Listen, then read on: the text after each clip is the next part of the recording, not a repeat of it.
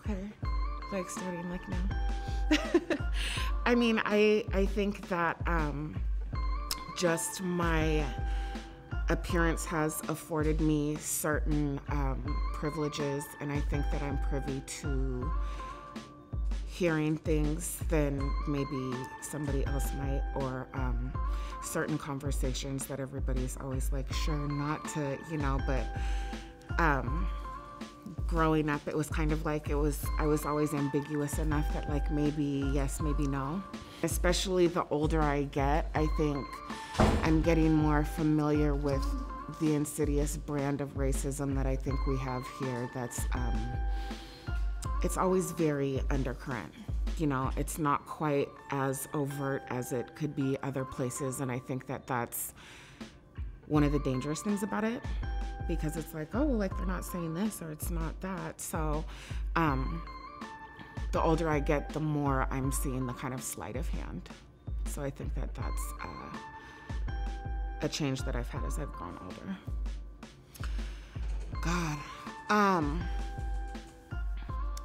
I, I think they're being carried out by design. Like, I think that it's like none of this shit is accidental, right? Like, I don't care what what stage we're talking about, what age we're talking about, what if we're talking about like gentrification in the city right now, or if we're talking about redlining. Wait, at whatever stage we're talking about this, it's all being carried out specifically based on the design. It's so on purpose. I think for me, my most powerful weapon um, that has kind of stayed true is the ability to be a critical thinker.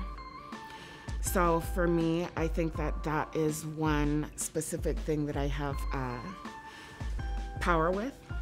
Like, I can't, I don't know who's gonna be president. I don't know who's gonna be doing this or who's gonna be doing that. I can't control any of that. But what I can do is like, raise somebody that is aware of his place in the world and um, how he may be perceived and how to give himself power in that so he doesn't have to worry like we all do. I mean, it's inevitable.